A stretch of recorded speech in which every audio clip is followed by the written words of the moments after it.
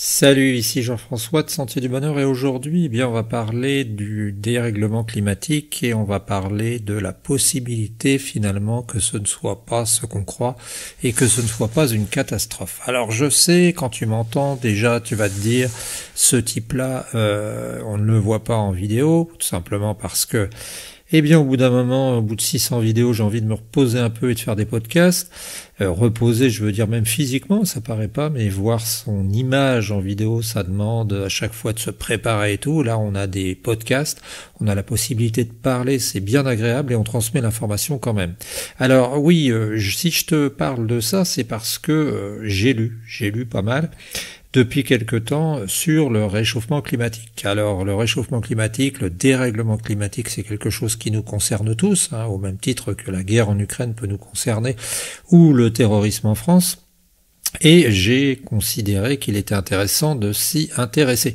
Alors, comme d'habitude, eh bien, tu as une partie des gens qui adhèrent totalement à la matrice, et puis une autre partie des gens qui sont pas d'accord et on les appelle des climato-sceptiques. Et puis, euh, il faut reconnaître qu'on se réfère aussi à son expérience personnelle. Moi, par exemple, à ce que je vois autour de moi, ce qu'on peut voir autour de nous, notamment durant les dernières canicules.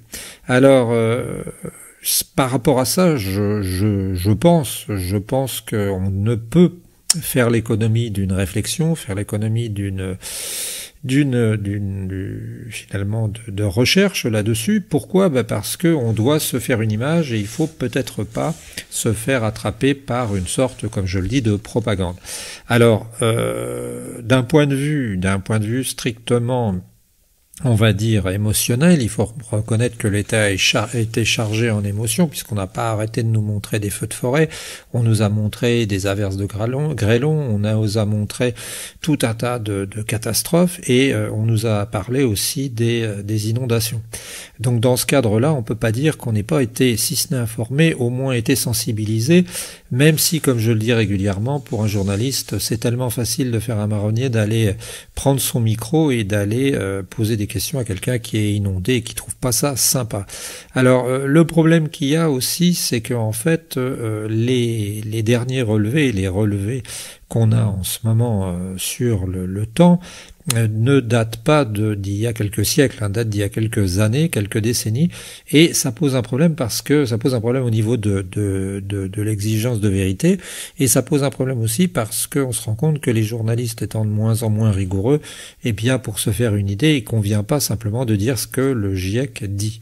Alors, je, je me réfère un peu à, ma manière de voir les choses, n'étant pas nécessairement un climato-sceptique, euh, mais plus proche peut-être, hein, peut-être de ces gens qui s'appelleraient les climato-réalistes. Hein. Tu peux taper le climato-réalisme, climato-réaliste sur euh, sur Google et tu tomberas euh, sur eh bien un, site hein, qui est très bien fait. Alors je ne m'en revendique pas, je n'en fais pas partie. Ce sont des scientifiques, je les ai contactés, ils ne m'auront pas encore recontacté. Je devais faire un sujet avec eux, mais euh, c'est intéressant parce que ce sont des gens. Hein. il y a, je crois, un polytechnicien là-dedans. Il y a aussi des gens qui travaillent au CNRS qui sont plutôt pour une manière un peu différente de voir les choses et pour expliquer. Hein. Ils nous disent, apparu en 2015, le climato-réalisme voit dans le climat un objet de science et non d'idéologie. Ce qu'on aurait un peu tendance à penser avec le GIEC, hein, parce que le GIEC c'est des experts, pas forcément tous euh, des scientifiques scientifiques, et euh, même les dirigeants du GIEC sont pas forcément des scientifiques, et même certaines personnes le reconnaissent dans les rapports du GIEC, il y a à boire et il y a à manger. Hein.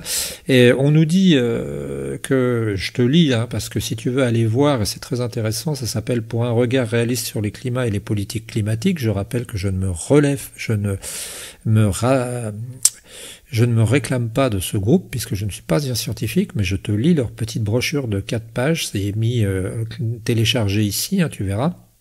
Et donc ils te disent, il faut avoir un certain réalisme. Euh, voilà.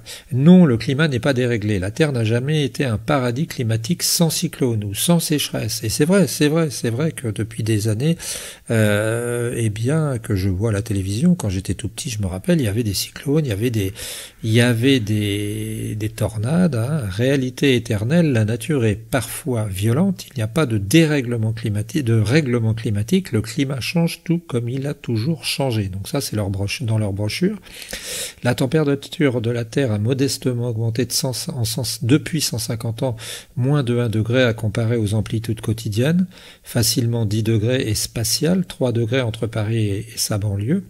L'époque médiévale était à peu près aussi chaude que la nôtre. Ouais, alors euh, je sais pas trop, mais si j'ai à me, propos, à parler, je sais qu'à l'époque des cathédrales, eh bien les cathédrales se sont construites parce qu'il y avait une certaine euh, une certaine chaleur, il faisait bon, on a eu des meilleurs rendements. Et quand je pense, alors je sais pas à quelle époque c'était, mais au Groenland, qui doit vouloir dire Greenland, eh bien il y a une époque où on cultivait sur le Groenland, donc euh, la, la, quantité d'eau avait dû baisser. On nous dit la teneur atmosphérique en CO2 a augmenté elle aussi, et elle est passée de 0,3 à 0,04 depuis la révolution industrielle. Cela reste très faible, d'autant que le CO2 n'est pas un polluant. Dans la bulle d'air que vous venez d'expirer, sa proportion est de dizaines de fois plus euh, importante que dans l'atmosphère. Donc tu vois, on nous raconte ça, je t'incite à aller voir. Euh, on nous dit aussi que euh, par satellite, observé par satellite, en 30 ans, la Terre a gagné 18 millions de kilomètres carrés de surface verte, soit deux fois le Sahara. Donc, euh, euh, on nous parle aussi du, rôle du CO2. Alors moi, je suis pas là pour te simplement pour te relire ce document et pour te dire que ça n'existe pas, hein, que qu'il n'existe pas de problème, qu'il n'existe pas de réchauffement, parce que comme je te disais, par rapport à cela, moi, eh bien, j'ai noté qu'il y avait quand même, par exemple, dans ma maison, sur le mur de, mur de ma maison, une augmentation de la température limite que j'avais pu constater. Mais est-ce que j'y pensais aussi? Est-ce que ça n'est pas dû au fait qu'on ait coupé des couper des arbres tout autour, on sait très bien que sous un, sous une, sous des arbres, eh bien, sous le feuillage, on est à 2-3 degrés de moins que si on était sous une bâche, par exemple plastique, ou sous un hangar, tout simplement, même ventilé, tout simplement parce qu'il y a une notion d'introduction d'eau, d'humidité. Euh, donc, on nous dit ensuite euh, que les politiques euh, du climat sont nuisibles et coûteuses. Hein. Euh, donc on nous dit que on nous parle aussi parce que c'est vrai que ce qui est terrible dans ces histoires de, de, réchauffement climatique ou de dérèglement, c'est aussi euh, cette sorte de psychodrame. Hein. On a des feux, on a des inondations, on a des sécheresses, on a des, des milieux qui sont détruits. La fonte de la banquise, la hausse du niveau marin, la fréquence des ouragans, c'est eux qui le disent. Sur tous ces sujets, les observations ne montrent rien d'inquiétant. Les données fiables ne sont disponibles que pour des périodes récentes, d'où la tendance à exagérer l'importance des fluctuations et des records. Par exemple, nous dit-on, les, glaciers alpins n'ont pas attendu nos émissions de gaz à effet de serre pour amorcer leur retrait. En certains endroits, leur recul a même mis à jour d'anciennes routes et constructions, ce qui prouve que les glaciers étaient encore plus réduits dans un temps précédent. Récent. La banquise arctique a rétréci dans les années 2000 et s'est restabilisée contrairement aux craintes, tandis que celle autour de l'Antarctique battait des records d'extension. On pourrait multiplier les exemples, disent-ils. Voilà. Et enfin, selon la vidéo virale d'un ours décharné, la vidéo virale d'un ours décharné ne prouve rien. Depuis l'interdiction de leur chasse, les ours polaires se portent bien, en atteste la nette augmentation de leur population depuis 1950.